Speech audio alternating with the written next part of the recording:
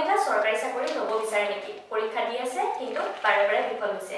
কাৰণটো কেইটামানে। হয় আপুনি ৰিজনিং আৰু মেথছত উইক হয় নহ'লে আপুনি টাইম কম হোৱাৰ বাবে সঠিক ট্ৰিক্স নজনাৰ ফলত পৰীক্ষাৰ পেপাৰখন কমপ্লিট কৰিব নোৱাৰে। সেইবাবে আহকচোন মোৰ সৈতে মেথছ আৰু ৰিজনিং শিকক আৰু কিছুমান ট্ৰিক্স শিকক যাতে অতি কম দিনৰ ভিতৰতে আপুনি এটা চৰকাৰী চাকৰি ল'ব পাৰে।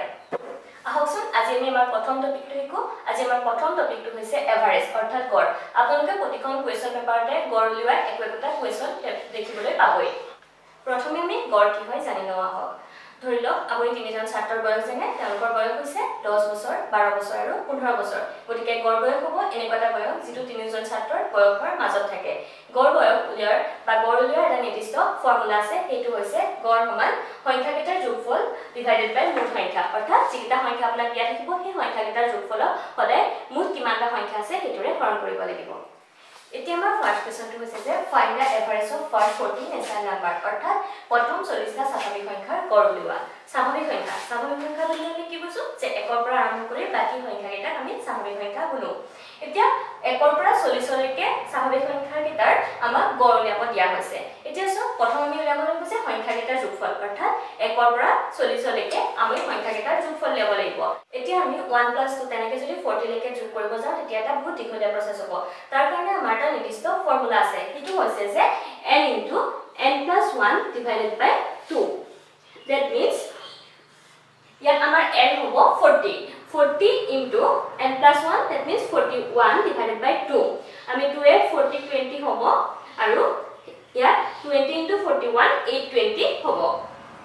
এতিয়া আমি সংখ্যাকেইটাৰ যোগফল কিমান পালো? এইট টুৱেণ্টি আমাক কি লাগে গড়? এতিয়া আমি গড় কিমান হ'ব? সংখ্যাকেইটাৰ যোগফল। Means eight twenty divided by মুঠ সংখ্যা। আমাৰ মুঠ সংখ্যা হ'ব ফৰ্টি তেতিয়া আমি শূন্য শূন্য কটা যাব? আৰু থাকিব twenty point five that means আমাৰ গড় হ'ব টুৱেণ্টি পইণ্ট ফাইভ এতিয়া আমি নেক্সট কুৱেশ্যনটোলৈ আহোঁ। নেক্সট কুৱেশ্যনটোত আছে যে if the average of five consecutive numbers is twenty seven find the lowest number ইয়াত আমাক এভাৰেজটো অলৰেডি দি থোৱা আছে। ইয়াত দিয়া আছে যে পাঁচটা ক্ৰমিক সংখ্যাৰ এভাৰেজ হৈছে টুৱেণ্টি ছেভেন আমি আটাইতকৈ সৰু সংখ্যাটো উলিয়াব লাগে।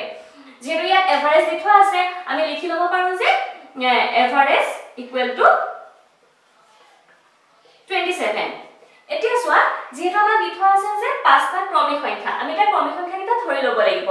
ধৰা হ'ল যে ক্ৰমিক সংখ্যাকেইটা হৈছে এটা one X minus one X plus two আৰু এক্স মাইনাছ টু আমি এইকেইটা কিয় এনেকৈ ধৰি লৈছোঁ এইটো অলপ পাছত তোমালোকে গম পাবা।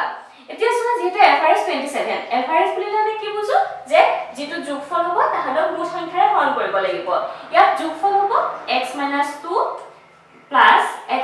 X minus one plus X plus X plus one plus X plus two তাক আমি মুঠ সংখ্যা ইয়াত আমাৰ মুঠ সংখ্যা কেইটা আছে? পাঁচটা। গতিকে আমি ইয়াক পাঁচেৰে ডিভাইড কৰিব লাগিব। ইকুৱেল টু টুৱেণ্টি ছেভেন এতিয়া চোৱা ইয়াত minus two plus two cancel যাব plus one minus one cancel যাব। সেইটো কাৰণে আমি এই সংখ্যাকেইটা এনেকৈ ধৰি লৈছোঁ যাতে আমাৰ অংকটো কৰিবলৈ সুবিধা হয়। এতিয়া আমাৰ পাঁচটা এক্স আছে গতিকে হ'ব five X divided by equal to হ'ব টুৱেণ্টি ছেভেন এতিয়া আমাৰ ইয়াত ফাইভ ফাইভ কেঞ্চেল যাব গতিকে এক্স ইকুৱেল টু কিমান হ'ব? টুৱেণ্টি ছেভেন আমি ইয়াৰ পৰা স্পষ্টকৈ দেখি আছোঁ যে আটাইতকৈ সৰু সংখ্যাটো হৈছে টুৱেণ্টি এক্স মাইনাছ টু গতিকে টুৱেণ্টি ছেভেন যিহেতু এক্স হয় গতিকে মাইনাছ টু ইকুৱেল টু কিমান হ'ব?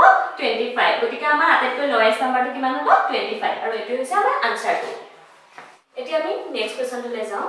আমাক নেক্সট কুৱেশ্যনটোত কি দিয়া আছে যে the average of the daily incomes of A B C is two fifty if B earns thirty more than C and A earns double of C what is the daily income of C এতিয়া আমি কুৱেশ্যনটোত কি দেখিছোঁ? ভালকৈ যদি আমি কুৱেশ্যনটো পঢ়ি চাওঁ তাত দেখিছোঁ যে আমাৰ যি দুটা কণ্ডিশ্যন দিয়া আছে দুটা কণ্ডিশ্যন কাৰ লগত ৰিলেট হৈ আছে? চিৰ লগত যে B earns thirty more than C আৰু A earns double of C গতিকে আমি চিৰ চিয়ে কিমান আৰ্ণ কৰে ধৰি ল'ব পাৰোঁ? Let C earns C earns X গতিকে বি কিমান বিয়ে কিমান আৰ্ণ কৰিব? B equal to thirty more than C গতিকে বি চিয়ে যদি এক্স আৰ্ণ কৰে তেতিয়া এক্স প্লাছ থাৰ্টি হ'ব। আৰু এ কিমান আৰ্ণ কৰিব? Double of C A equal to double of C that means চিয়ে যদি এক্স আৰ্ণ কৰে double of X that means two X গতিকে আমাৰ কি উলিয়াব দিছে যে what is the daily income of C C income উলিয়াব দিছে। কিন্তু আমাক কি দি থোৱা আছে যে এভাৰেজ দিয়া আছে টু ফিফটি ইয়াৰ এভাৰেজ উলিয়াবলৈ কি হ'ব?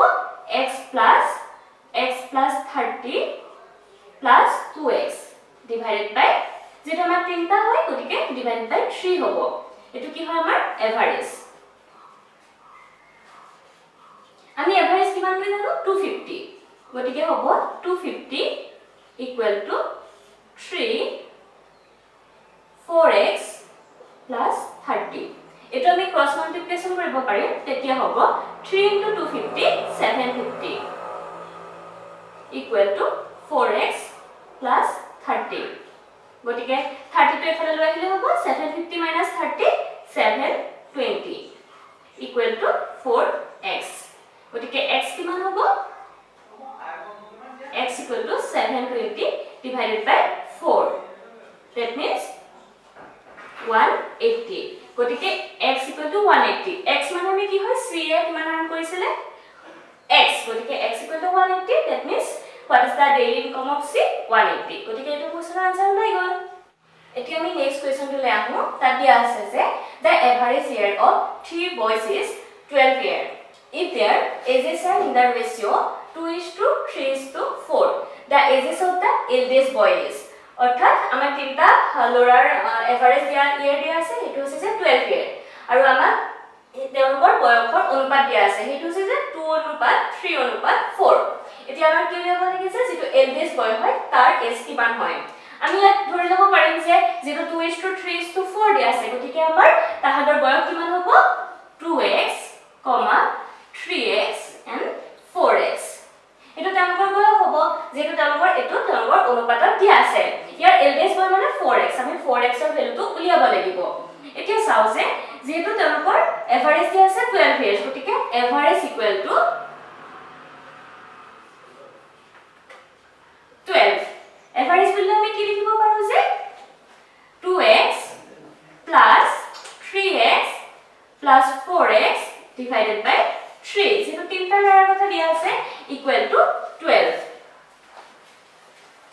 plus 3 plus 4 equal to 9x. 9x divided by 3 equal to 12. Go take 9x equal to hobo 36. Go take x equal to hobo 4. Zip me x or value pi value. Go take care of 4x or value never parent. Go take x only 4 by 4x given hobo 4 into 4 16. Go take care of our eldest boy for boy of hobo 16 years.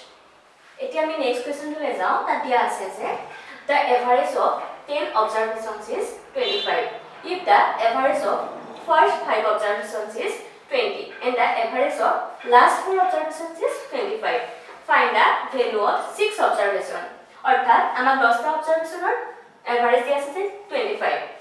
Our robot the assessment, potham dosta observation or average of 20. Ako last year shite observation or 25. Kuthi amma 6 observation or value liya bodi se. Ito saomi, zito amma potham dosta observation or average the assessment 25. Kuthi ke? হ'ব সিহঁতৰ total হ'ব ten into twenty five that means two fifty next আহিলো যে প্ৰথম পাঁচটা অবজাৰভেশ্যনৰ দিয়া আছে যে এভাৰেজ টুৱেণ্টি ডেট মিনছ প্ৰথম পাঁচটা অবজাৰভেশ্যনৰ টোটেল কিমান হ'ব? Total one equal to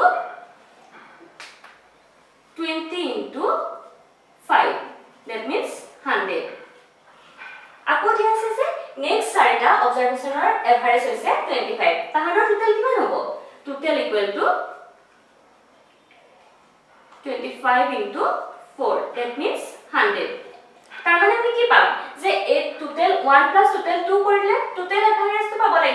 কিন্তু আমাৰ যিটো নটা এভাৰেজ নটা প্লাছ হাণ্ড্ৰেড টু হাণ্ড্ৰেড হ'ল আমাৰ টোটেল হ'ব লাগিছিলে টু ফিফটি গতিকে আমাৰ ছিক্স অবজাৰভেশ্যনটোৰ ভেলু হ'ব two fifty minus two hundred equal to fifty এতিয়া আমাৰ আনচাৰ হৈ গ'ল।